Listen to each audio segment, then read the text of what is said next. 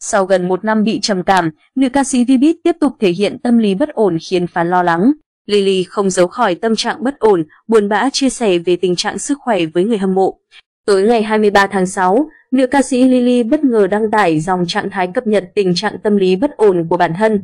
Cụ thể người đẹp buồn bã cho biết, không nhớ nổi lần cuối mình thật sự cảm thấy vui là khi nào nữa.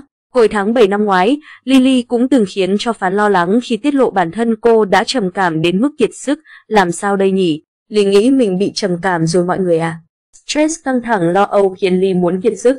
Mặc dù lúc nào cũng tự nhủ phải thoát ra những cảm xúc tiêu cực này, nhưng Ly không đủ mạnh mẽ, Ly yếu đuối. Công việc của Ly là mang âm nhạc đến và những điều tích cực đến cho mọi người là luôn cần cảm xúc để sáng tạo.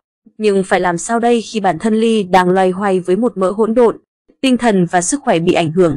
Nhưng mình đâu còn sự lựa chọn nào khác là phải mạnh mẽ đương đầu đâu nhỉ? Sao cuộc sống khó khăn đến thế? Sau khi tham gia cuộc thi sinh mi xong, tên tuổi của Lily đã được nhiều khán giả biết đến.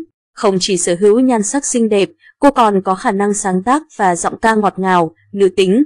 Những bản hit của nữ ca sĩ trẻ như 24 giờ, thất tình thường xấu tính, người ta đâu thương em.